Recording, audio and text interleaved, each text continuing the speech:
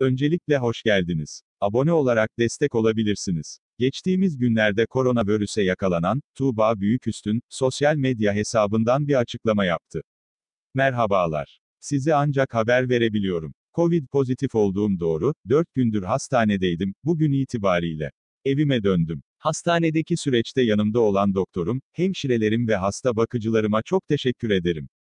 İyi ki vardınız. Her yerden gelen güzel dilekler için çok teşekkür ederim. Çok değerli benim için, evdeyim, oldukça iyiyim. Tekrar haberleşiriz, sevgilerimle. Güzel oyuncuya geçmiş olsun dileklerimizi iletelim buradan. İzlediğiniz için teşekkürler.